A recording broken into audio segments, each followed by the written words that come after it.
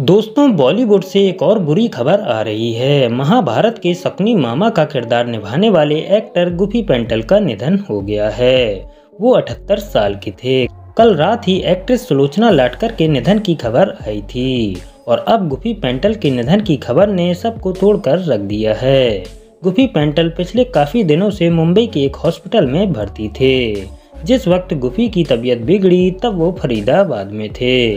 पहले उन्हें फरीदाबाद के एक हॉस्पिटल में भर्ती किया गया और उसके बाद उन्हें मुंबई लाया गया। लेकिन अचानक से खबर आई कि गुफी पेंटल का हृदय गति रुकने की वजह से निधन हो गया है। दोस्तों, गुफी पेंटल ने महाभारत सीरियल में मामा शकुनी का किरदार निभाया था। जिससे ये काफ़ी ज़्यादा फ़ेमस हुए थे। और इसके साथ साथ ये बॉलीवुड के एक फ़ेमस एक्टर थे। गुफी प्रोफेशन से इंजीनियर थे, लेकिन उनके भाई फ़िल्मों में काम किया करते थे। और भाई को देखकर साल उन्नीस सौ उनहत्तर में मुंबई आ गए थे। साल 1975 में गुफी ने रफू चक्कर फ़िल्म से बॉलीवुड में डेब्यू किया था।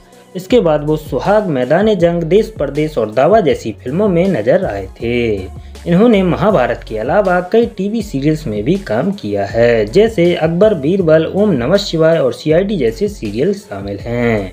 और हाल ही में स्टार भारत के सीरियल जय कन्हैया लाल की में भी देखे थे। दोस्तों, इनके निधन से पूरी बॉलीवुड इंडस्ट्री में शोक की लहर है। तो दोस्तों, इस दमदार एक्टर के लिए कमेंट में ओम शांति ज़रूर लिखें। मिलते हैं नेक्स्ट वीडियो में, तब तक के लिए बाय बाय टेक केयर